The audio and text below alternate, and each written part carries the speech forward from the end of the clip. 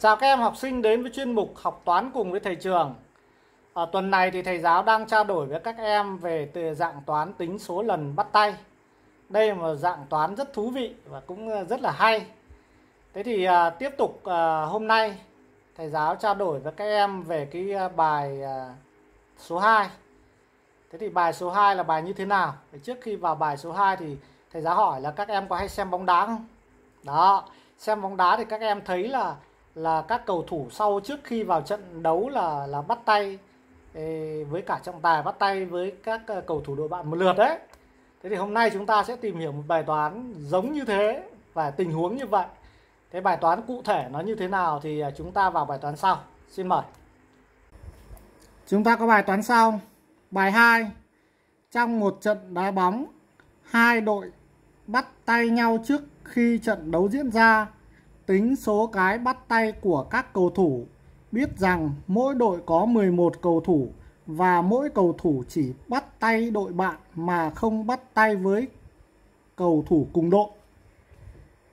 Đó, thế thì à, bài toán cho biết gì và yêu cầu làm gì thì chúng ta đọc lại sau đó chúng ta viết vẽ ra thầy giáo vẫn khuyến khích các em cái đó chúng ta từ trực quan thì chúng ta sẽ rất là dễ và có thể tìm được cái cách giải đó thế thì bây giờ thầy giáo có thể viết vẽ này này, trong ờ, một trận đá bóng này. Hai đội bắt tay này. Mà hai đội này là hai đội bóng nhá. Tính số cái bắt tay cầu thủ biết rằng mỗi đội có 11 như vậy là thầy giáo ví dụ đội A đây. Có 11 cầu thủ 1 2 3 4 5 6 7 8 9 10 11 đó còn đội B đây. 1, 2, 3, 4, 5, 6, 7, 8, 9, 10, 11 Đó thì các em xem à, trong trong đá bóng thì các cầu thủ hay bắt tay nhau và và thực ra thì người ta xếp à, một hàng thế này này. À, mà một hàng như thế này này có 11 cầu thủ một hàng như thế này có 11 cầu thủ trọng tài người ta đứng ở đây này. Thế sau đó khi mà xong rồi thì cầu thủ bắt tay trọng tài này xong cứ di chuyển di chuyển bắt tay như thế này di chuyển di chuyển di chuyển, vừa di chuyển vừa bắt tay, hết một lượt. Đó, ở đây bài toán không yêu cầu tìm cái số bắt tay trọng tài, mà chỉ tìm cái số bắt tay của cầu thủ thôi. Thế thì từ cái cái mô hình như thế này thì các em sẽ thấy như thế này. Cái người đầu tiên là này, người số 1 này, sẽ bắt tay bao nhiêu cái? Là 11 cái. Đó, người số 1 bắt tay 11 cái với 11 đội bên này. Người số 2 cũng bắt tay 11 cái. Đó. Người số 2 bắt tay 11 cái. Người số 3 cũng vậy. Thế như vậy là gì? Khi mà cầu thủ này bắt tay với 11 bạn cầu thủ bên này, thì coi như là 11 cầu thủ bên này đã, cũng đã bắt tay với với một cầu thủ này rồi, xong rồi. Thế như vậy 11 cầu thủ bên này không cần bắt tay thêm với người số 1 nữa, mà chỉ chờ bắt tay với những người còn lại. Thế như vậy, từ cái cách suy luận như vậy, thì chúng ta sẽ thấy là gì? Thấy là mỗi cầu thủ bắt tay với 11 cầu thủ đội bạn.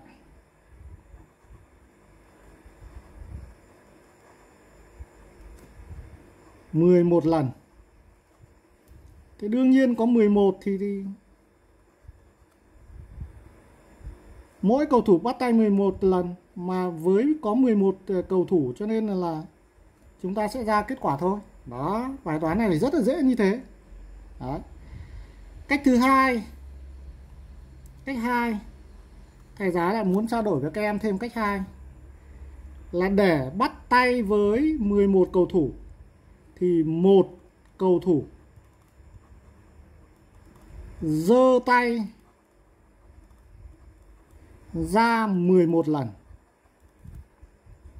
Một cầu thủ phải giơ tay ra 11 lần để bắt tay với 11 bạn cầu thủ bên kia. Thế mà chúng ta có 22 cầu thủ. Tất cả thì sẽ giơ tay ra 11 nhân 22. Mà cứ hai lần giơ tay thì là một lần bắt tay. Như vậy ta chia cho hai, thì sẽ ra. Vẫn là hai cái cách thầy giáo trao đổi. Tuy nhiên thì bài này là các cầu thủ chỉ bắt tay đội bạn, không bắt tay với ờ, người cùng đội. Cho nên là đáp án nó sẽ theo một cái hướng khác. Thế thì bài này thực ra là dễ hơn bài trước, nhưng thầy giáo muốn giới thiệu với các em để thấy có những cái bài nó dạng cũng là bắt tay, nhưng nó sẽ khác đi. Nó không như là là cái giống y xì như bài số 1 thế thì à, từ cái trao đổi với các em như vậy bây giờ chúng ta sẽ à, vào trình bày. Thế thì ở đây thầy giáo cũng sẽ trình bày với hai cách. Là cách một.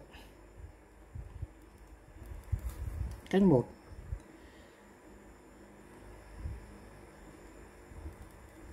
Mỗi cầu thủ đội này.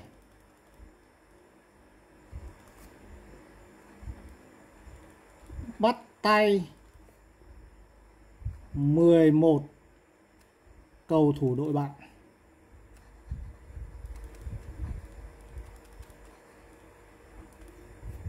Là 11 cái. Mỗi cầu thủ đội này bắt tay với 11 cầu thủ đội bạn 11 cái khi đó,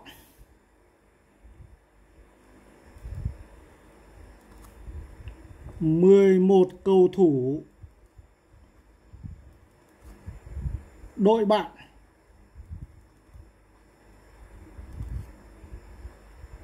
đã bắt tay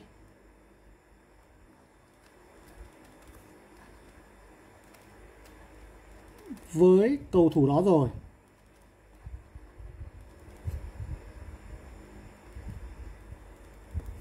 Cho nên là không có chuyện là cầu thủ đội bạn này lại quay trở lại bắt tay với với đội kia.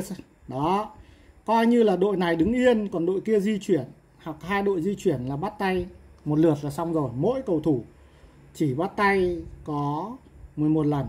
Thế như vậy là số cái bắt tay là 11 là 11 cái bắt tay của một cầu thủ nhân với 11 cầu thủ sẽ bằng nhân với 11 bằng à, 121 cái bắt tay. Với bài toán này thì thấy các em thấy khả năng là là là nếu ai mà tưởng tượng tốt thì à, sẽ tưởng tượng ra. Còn nếu ai mà không tưởng tượng tốt thì thầy giáo nghĩ là cách này sẽ hơi khó hiểu một chút. Vì vậy, thầy giáo trình bày tiếp cách 2. Là gì? Để bắt tay với 11 cầu thủ đội bạn, thì mỗi cầu thủ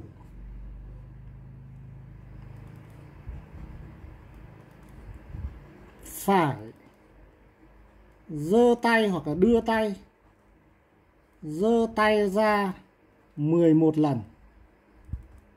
Đó 11 cầu thủ này đưa tay ra 11 lần. 11 cầu thủ của bạn cũng đưa tay ra 11 lần.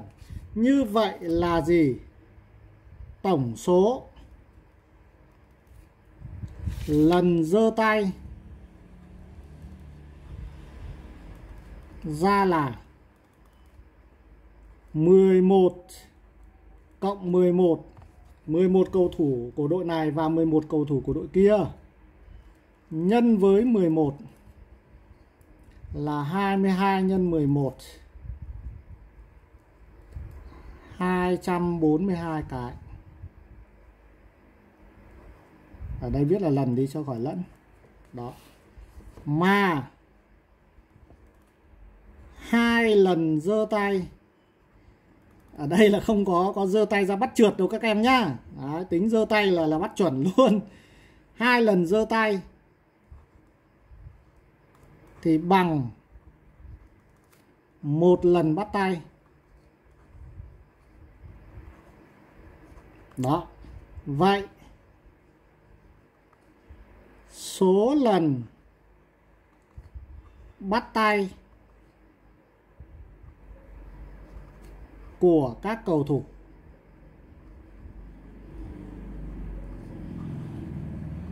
Là, các em lấy 242 chia cho 2 vì 242 này là lần giơ tay, còn cứ hai lần giơ tay với thành một cái bắt tay thì ra 121 cái bắt tay.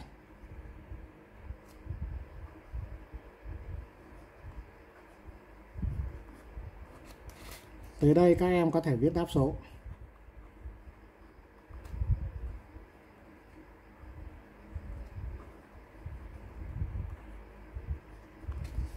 Đó. Thế thì à, đây chính là bài mà thầy giáo muốn trao đổi với các em. Một cái bài cũng là thuộc bài toán à, bắt tay. Tuy nhiên thì với cái cách giải và cách ừ, suy nghĩ nó khác với cái bài mà thầy giáo đã trao đổi với các em ở bài 1 thế thì để uh, giúp các em hiểu rõ hơn bài bắt tay thì thầy giáo uh, trao đổi thêm với các em bài này để các em hình dung thêm.